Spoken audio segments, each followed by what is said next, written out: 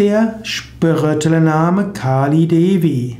Kali Devi ist ein spiritueller Name für Aspirantinnen mit Kali Mantra.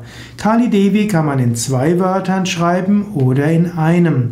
Kali Devi ist natürlich die Göttin. Kali Devi heißt Göttin. Wenn du den spirituellen Namen Kali Devi hast, dann soll es heißen, diejenige, deren Göttin Kali ist.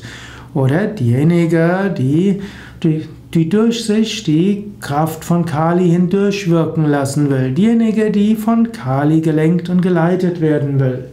Wenn du den Namen Kali Devi hast, dann soll es heißen, du bist voller Hingabe an die göttliche Mutter und du weißt, die göttliche Mutter wird dir helfen, über alles hinauszuwachsen. Du wirst in der Lage sein, letztlich das Höchste zu erfahren.